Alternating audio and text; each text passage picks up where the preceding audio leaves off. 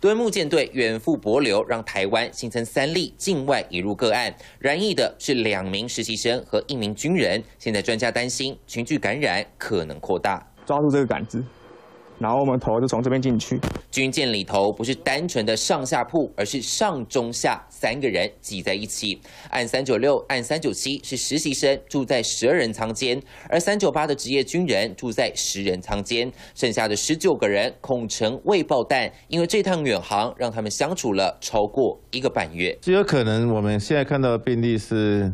第二波或第三波的病例了。那先前到底有多少人得到感染还不太确定。可以想见的是，很可能在舰上的官兵，其他还有人得到感染，那个必须要等检验去确认。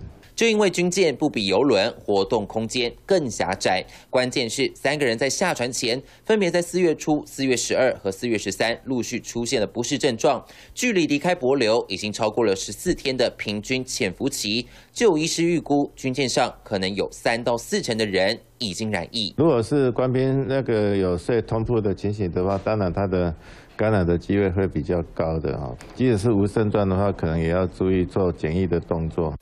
有医师在脸书贴文说，这些军人在十五号离舰，不知道有多少人进入社区，整体暴露风险的族群至少数千人，甚至上万人，堪称是疫情爆发以来最恶劣的处境。现在指挥中心召回了三艘军舰的七百多人集中检疫，希望能防堵破口。三选刘少武、寻清，看不到。